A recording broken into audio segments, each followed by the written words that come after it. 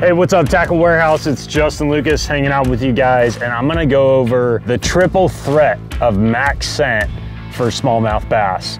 And number one, you guys have heard of by now max scent flatworm and what it's done the past several years in bass fishing tournaments for smallmouth.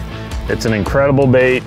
Uh, we have it in a new size now, so it's only ever been available in a three and a half, and now we have it in a four and a quarter. So just a bigger presence. I think this is gonna make a big difference when you're fishing for smallmouth that are feeding on perch.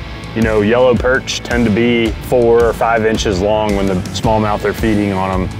And this is gonna really do a good job at imitating that. But if you don't know anything about max scent, just to touch quickly on that, it is a scent dispersing bait. So when it falls in the water, when it lands in the water, it actually has a bunch of pores in the bait and the scent pours through all of those pores out into the open water and smallmouth can find that a lot better when there's that scent trail coming out of the water.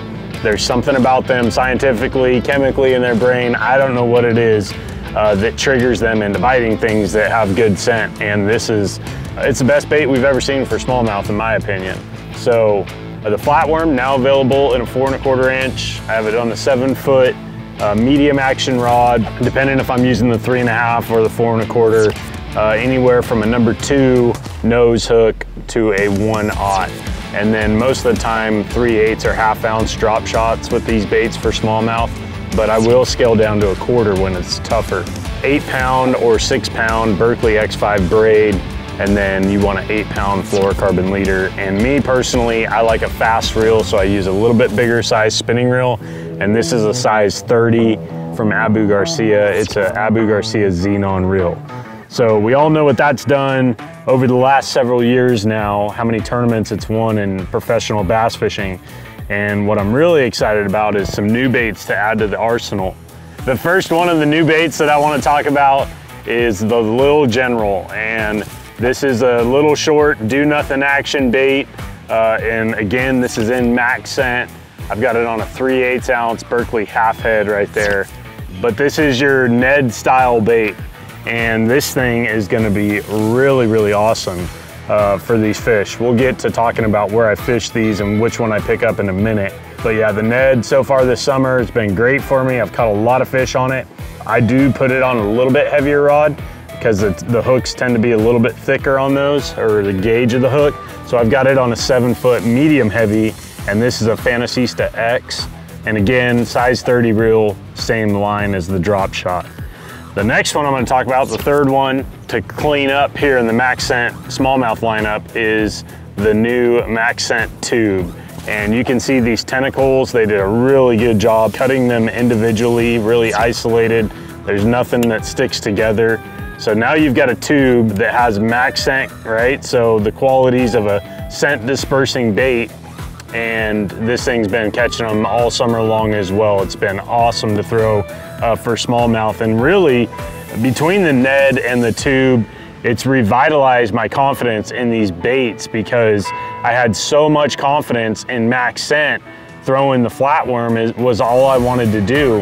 And I know that these shapes, you know, the Ned type shape and the tube shape for smallmouth, they're just proven tournament winning shapes. But now that we have them in max scent, it certainly makes it a lot easier for me to pick them up and throw them, knowing that I have so much confidence in max scent. So number one for me, I'm always gonna start off with the drop shot. That's, that's my, my bread and butter. That's my, my sword, if you wanna call it that. That's the one I wanna go to battle with if I can. But there's times, you know, where the drop shot's not gonna produce like some of these other baits. And uh, one, one instance for sure that I can tell you about uh, with a Ned style bait and where this is gonna come into play is a lot of times when it gets flat, calm and clear, these fish get pretty spooky. Uh, I don't know what it is about a drop shot, but they can get spooked off a drop shot when it gets real calm and flat, you know, flat, calm and real clear. And I have had very good success, especially up at the St. Lawrence River, throwing a Ned style bait, you know, when it gets that calm. So now that I have it available in Max Scent, I'm really, really excited about that.